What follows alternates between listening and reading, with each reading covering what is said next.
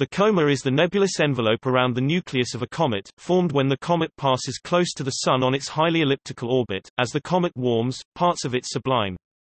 This gives a comet a fuzzy appearance when viewed in telescopes and distinguishes it from stars.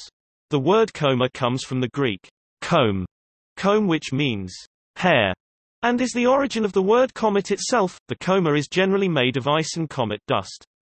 Water composes up to 90% of the volatiles that outflow from the nucleus when the comet is within 3 to 4 astronomical units of the Sun. The H2O parent molecule is destroyed primarily through photodissociation and to a much smaller extent photoionization. The solar wind plays a minor role in the destruction of water compared to photochemistry. Larger dust particles are left along the comet's orbital path while smaller particles are pushed away from the Sun into the comet's tail by light pressure. On the 11th of August 2014, astronomers released studies using the Atacama Large Millimeter Submillimeter Array (ALMA) for the first time that detailed the distribution of HCN, HNC, H2CO, and dust inside the comae of comets C 2012 F6 Lemmon and C 2012 S1 ISON. On 2 June 2015, NASA reported that the ALICE spectrograph on the Rosetta space probe studying Comet 67P, Churyumov-Gerasimenko determined that electrons within 1 km (0.62 miles) above the comet nucleus, produced from photoionization of water molecules by solar radiation, and not photons from the Sun as thought earlier, are responsible for the degradation of water and carbon dioxide molecules released from the comet nucleus into its coma.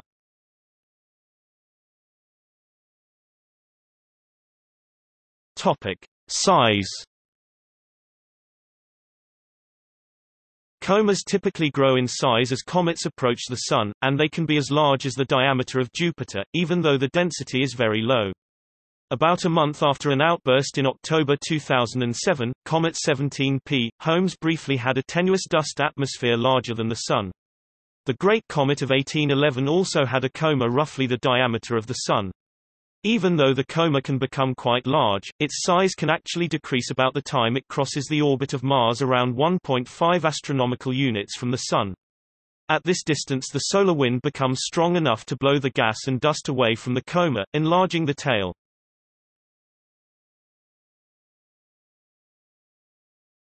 Topic: X-rays Comets were found to emit X-rays in late March 1996. This surprised researchers, because X-ray emission is usually associated with very high temperature bodies. The X-rays are thought to be generated by the interaction between comets and the solar wind. When highly charged ions fly through a cometary atmosphere, they collide with cometary atoms and molecules, ripping off one or more electrons from the comet. This ripping off leads to the emission of X-rays and far ultraviolet photons.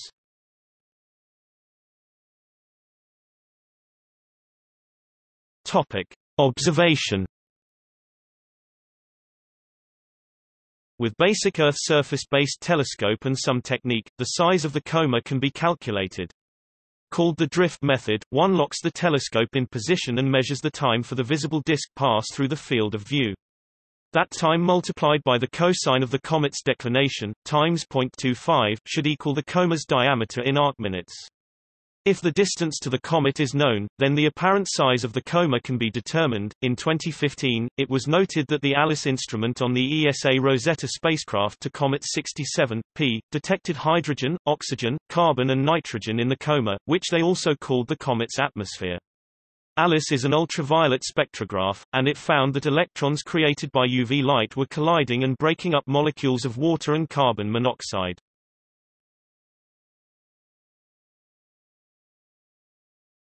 Topic: Hydrogen gas halo.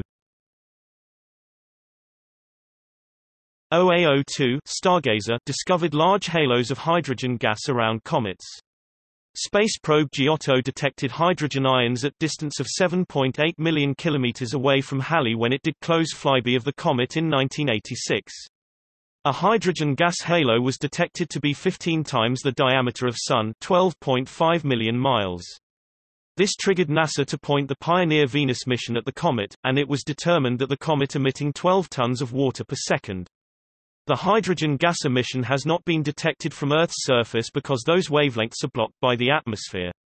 The process by which water is broken down into hydrogen and oxygen was studied by the ALICE instrument aboard the Rosetta spacecraft.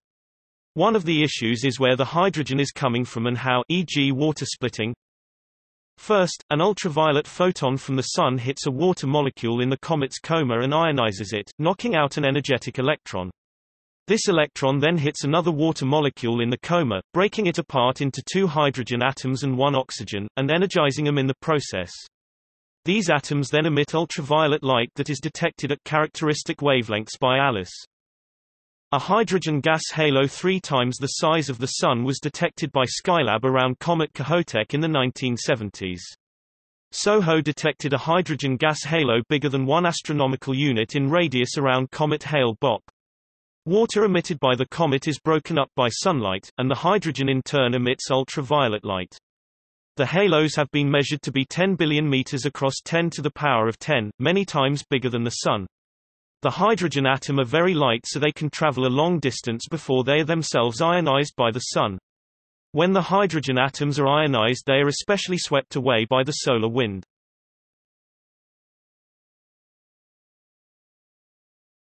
Topic. Composition The Rosetta mission found carbon monoxide, carbon dioxide, ammonia, methane and methanol in the coma of Comet 67P, as well as small amounts of formaldehyde, hydrogen sulfide, hydrogen cyanide, sulfur dioxide and carbon disulfide. The four top gases in 67P's halo were water, carbon dioxide, carbon monoxide, and oxygen. The ration of oxygen to water coming off the comet remained constant for several months.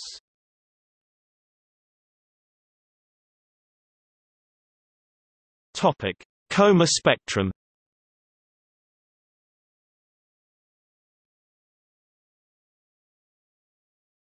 Topic: See also. Coma optics Comet nucleus Extraterrestrial atmospheres